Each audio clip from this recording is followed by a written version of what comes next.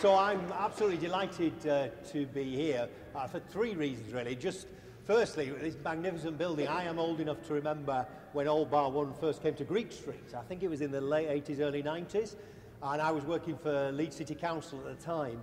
And uh, for the leader of the council, it was then Jon Trickett.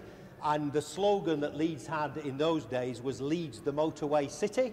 Uh, and we thought we could probably do better than that. And so that was when Leeds, the 24-hour European city and so on, people started thinking about uh, that and promoting that. And that is one of the great things that has happened in the north, and I think it's happening in Bradford now as well, actually.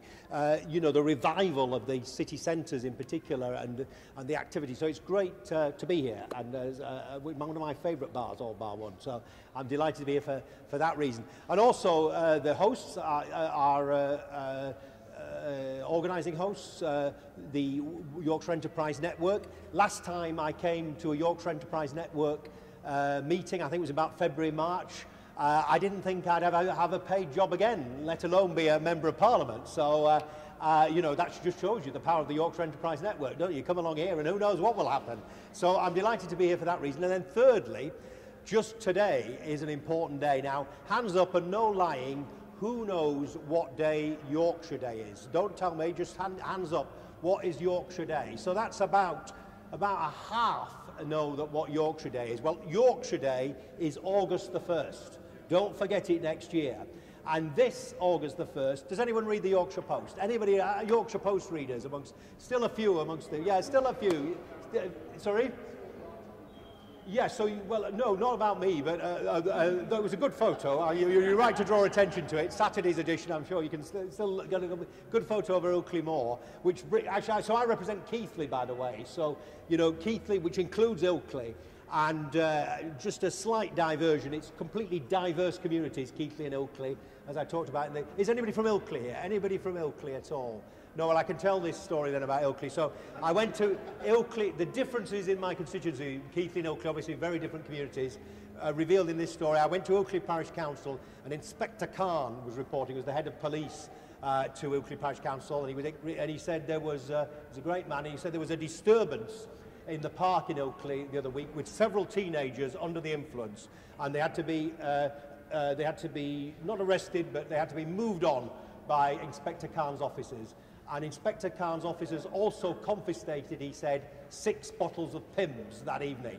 Now, obviously, probably if it was in Keighley, it would be something else they were confiscating. But anyway, it's a wonderful constituency to represent with all the, the you drew attention to it, so I thought I'd... Anyway, the third reason is, you know, on that day in the Yorkshire Post, on August the 1st this year, anybody who read it, all the councils in Yorkshire, bar Sheffield and Rotherham, issued a statement saying they want to get together and have devolution not just for Leeds, not just for Sheffield, not just for Hull, but the whole of Yorkshire, including the North Bank, but not the South Bank of the Humber.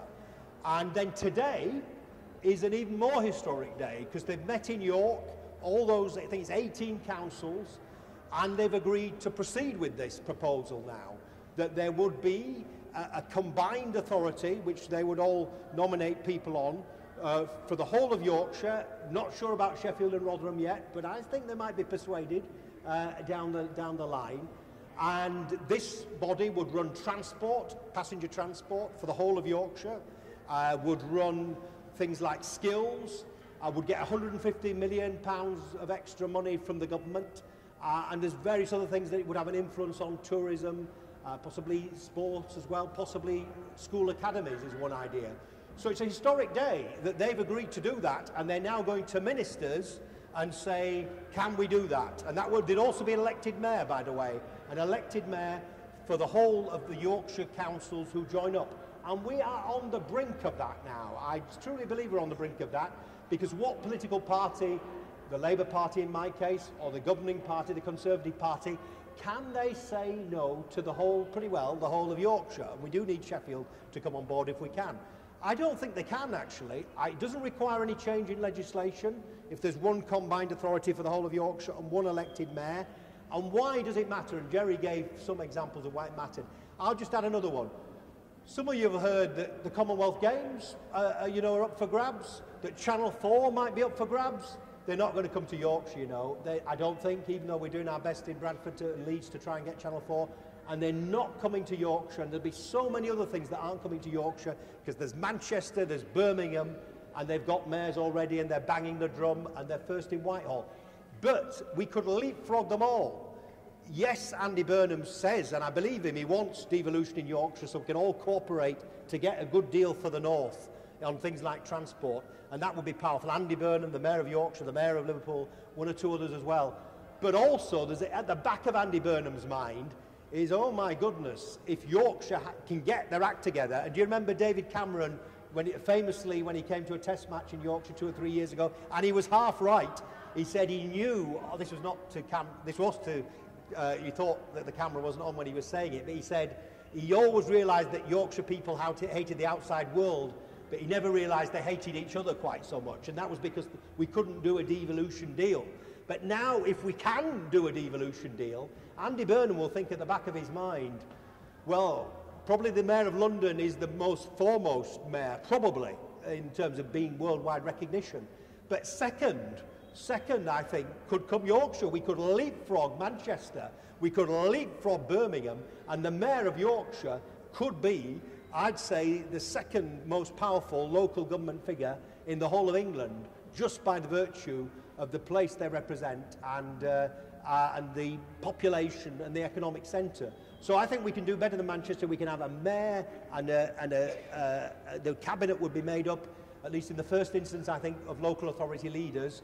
But we are on the brink, I think, of something quite distinct here in Yorkshire. And as Jerry says, it's the business community who've had different views. You know, some have said we should have a Leeds City region, some have Sheffield City region. But now there is one game in town, and that is, uh, following today's meeting, you know, a Yorkshire mayor, a Yorkshire combined authority, and I think that's very exciting indeed. Thank you very much. Yeah.